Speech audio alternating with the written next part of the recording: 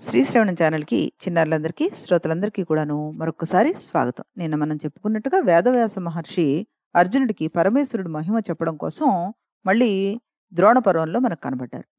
ఈ ద్రోణ పర్వంలో ద్రోణుడు కురుక్షేత్రమునందు సంహరించబడగానే వేదవ్యాసుడు అర్జునుడి దగ్గరికి వచ్చాట అప్పుడు ఆయనకి నమస్కరించి తన సందేహాన్ని ఆయన ముందుంచాడు అర్జునుడు. ఏమిటది? మహాత్మా నేను నా బాణ సమూహాల చేత యుద్ధంలో శత్రువుల్ని సంహరిస్తూ ఉంటే, నాకంటే ముందుగా అగ్ని వంటి కాంతి ఒకటి నా ముందు కనబడుతోంది. త్రిశూలంలోంచి వ్యక్తమైన శూల పరంపరలతోటి శత్రువులను సంహరిస్తోంది అది మనుషులందరూ కూడా నాతే సంహరించబడిన వారిగా లోకులనుకుంటున్నారు. అసలు ఈ మహాత్ముడెవరు? నాకంటే ముందు వారందరినీ ఎందుకు సంహరిస్తున్నాడు? అంటూ అడిగట అప్పుడు వ్యాసుడు అర్జున ఆ పురుషోత్తముడు శివుడే అని చెప్పి నువ్వు ఆచరించిన తపశ్చర్యకు సంతోషించి ఆ పరమశివుడు ఒకప్పుడు నీకు అనేక దివ్య అస్త్రాలను అనుగ్రహించాడు. శత్రు సంహార సమయంలో అనుక్షణం నీకు సహాయపడుతున్నాడు అంటూ చెప్పి ప్రజాపతీనాం ప్రథమం తైజసం పురుషం ప్రభుం భువనం భూర్భువం దేవం సర్వలోకేశ్వరం ప్రభుం ఈశానాం వరదం పార్థ దృష్టవానపి శంకరం తం గచ్చ శరణం దేవం వరదం భువనేశ్వరం అర్జునా ప్రజాపతులలో మొదటివాడును తేజోవంతుడు పురుషుడు సర్వలోకేశ్వరుడు వరదుడగు ఈశ్వరుడిని నువ్వు చూసావు ముందు అలాంటి వాడిని అలాంటి భువనేశ్వరుడిని నువ్వు శరణు వేడు. శాంతుడగు ఆ ఈశ్వరుడికి నమస్కరించుకో. ఈ ఈశ్వరుడు దక్ష ప్రజాపతి యజ్ఞమును ధ్వంసం అనర్చినవాడు. అలాగే దక్ష ప్రజాపతి రుద్రునికి విశేషముగా యజ్ఞభాగాన్ని కల్పించాడు. దేవతలందరూ భయపడిన వారే అతన్ని శరణు చొచ్చారు. ఆ మహేశ్వరుడే త్రిపురాసుర సంహారాన్ని కూడా చేశాడు.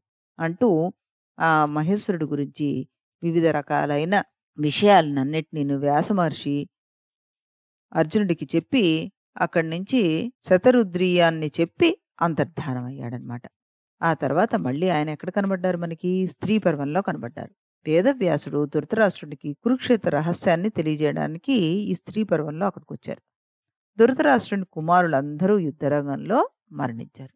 విదురుడు ధృతరాష్ట్రుడికి హితోపదేశం చేసినప్పటికీ అతని దుఃఖం తొలగకపోవడంతో వ్యాస మహర్షి అక్కడికి వచ్చాడనమాట ధృతరాష్ట్రుడు ఆయనకి నమస్కరించి మహాత్మా మానవ జన్మము ఎల్లప్పుడూ నిరంతర దుఃఖ నిలయాలు. నరునికి ఇలాంటి బతుకు వల్ల దుస్సాహ దైన్యం కాక వేరొక సత్ఫలం ఏముంది అంటూ కుమారులు నూరుగురు యుద్ధభూమిలో మరణించి పరలోకం చేరుకున్నారు. ఇంకా నేనేం చేయాలి? మరి నాకు దిక్కెవ్వరు. నా వంటి దురదృష్టవంతుడు ఈ లోకంలో వేరెవరైనా ఉన్నారా అంటూ ఏడవడం మొదలుపెట్టాట. అప్పుడు వ్యాస మహర్షి ఆయనతోటి ధృతరాష్ట్ర నీకు తెలియని ధర్మ పద్ధతి ఏముంది? నీతి విశారదుడువైనా నువ్వు కొంత దుఃఖావేశాన్ని నిగ్రహించుకో. నీ దుఃఖాన్ని తొలగించుకో. నీకు హితవు ఉపదేశిస్తాను విను అంటూ ఆయనతో చెప్తున్నారు ఏమని? ఓ ధృతరాష్ట్ర జీవలోకము అశాశ్వతమైనది. ప్రాణికి ఎప్పటికైనా మరణం తప్పదని నీకు తెలుసు కదా? కాబట్టి నిరంతరము ఆ పుత్ర శోకోద్వేగం నీకు తగునా? అదీను కౌరవ పాండవుల మధ్య వైరాగ్ని జ్వాల ఏ తీరులో ప్రచురిల్లిందో మొదటి నుంచి నీకు తెలిసిన విషయమే కదా? నీ జ్యేష్ఠ కుమారుడే కదా దీనంతటికీ ప్రధాన కారణం? అయితే దుస్సంఘటన సమస్తం విధి సంకల్పితమే కానీ వేరొకటి కాదు సుమా. కౌరవ జాతి వినాశనం తప్పక సంఘటిల్లాల్సి ఉంది. ఇందువలనే ఇంతటి ఘోర మారణం కొనసాగింది. దీనిలో వింత ఏమీ లేదు. అదీగాక భవదీయ బంధువులందరూ యుద్ధభూమిలో మరణించి శాశ్వత స్వర్గ సౌఖ్యాలను అనుభవిస్తున్నారు కదా. అటువంటి వారి కోసం నీకు చింతెందుకు? ఇటువంటి ఘోరాపద సంఘటిల్లగలదని మున్ముందే గ్రహించుకున్నవాడు వివేకశాలి విదురుడు. ఆనాడు జ్యూత సమయంలో నీకు అనేక విధాలుగా న్యాయమార్గం న్యాయ మార్గం బోధించినా నువ్వు అది తిరస్కరించావు. అంతటి వారైనా విధి నిర్ణయాన్ని తప్పించుకోగలరా? కనుక ఇంక నువ్వు ఆ శోకాన్ని విడిచిపెట్టు అంటూ ఒక పరమ రహస్యం ఉందో చెప్తాను విను అంటూ ఆయన చెప్తున్నారు. ఏమని? ప్రాచీన కాలంలో దేవేంద్రుడి సమక్షంలో నేను ఒకప్పుడు ఒక పరమ రహస్యాన్ని విన్నాను. కానున్నది కాక మానదని మునుముందే గ్రహించుకున్నాను నేను. మేలు కోరి నీకు ఇప్పుడు ఈ విషయాన్ని వినిపిస్తున్నాను విను అంటూ పూర్వకాలం నేను ఒకప్పుడు దేవేంద్రుని సభలో ఉండగా భూదేవి అక్కడికి వచ్చి దేవతలను చూసి మహనీయులారా పరమేష్టి సమక్షంలో మదీయ భారం తొలగించవలనని మీరు ఒకప్పుడు నిశ్చయించుకున్నారు కదా అని పలికినప్పుడు ఓ భూదేవి ధృతరాష్ట్రుని జ్యేష్ఠపుత్రుడగు దుర్యోధనుని మూలంగా ఈ కార్యం చక్కబడుతుంది. అతని వల్ల కురుక్షేత్ర యుద్ధంలో పృథ్వీపతులు పరస్పరం హతులవుతారు. నీకు భారహరణం అవుతుంది. నీవు స్వస్థానానికి వెళ్ళిపో అంటూ పలికెట్ట. యా ఏషేతే సుత రాజాన్ లోక సంహార కారణాత్ ధృతరాష్ట్ర.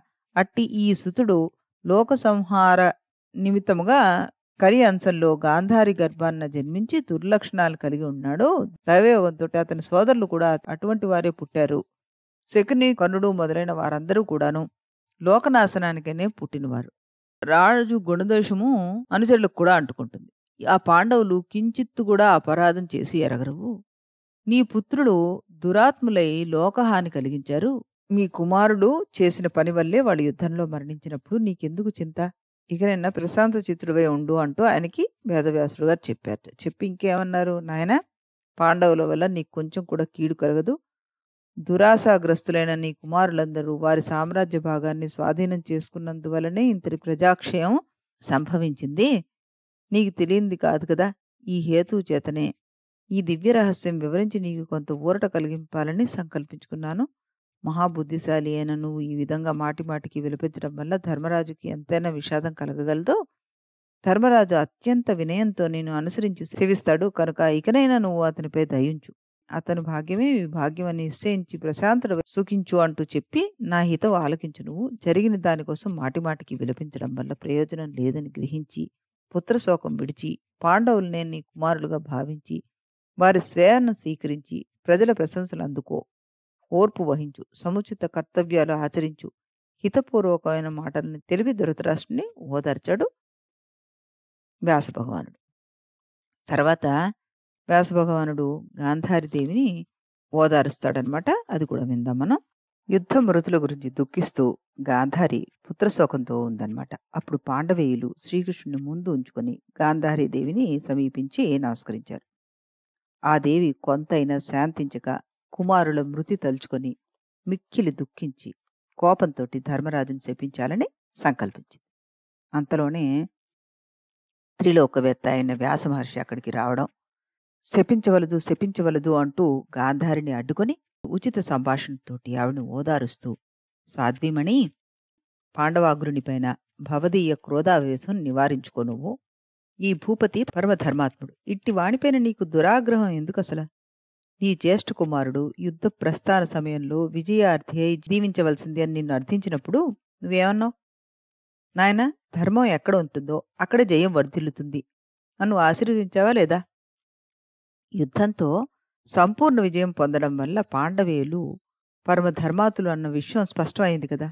అదీగాక గతించిన దానికై ఆగ్రహించడం వల్ల ప్రయోజనం ఏమిటి? ఇకనైనా సౌజన్య ధోరణి అవలంబిస్తే లోకం నిన్ను అనేక విధాలుగా వినుతించగలదు.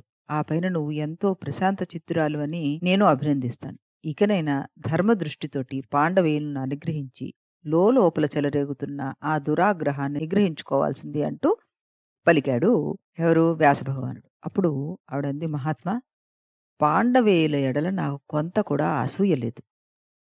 దుర్యోధనాపరాధేన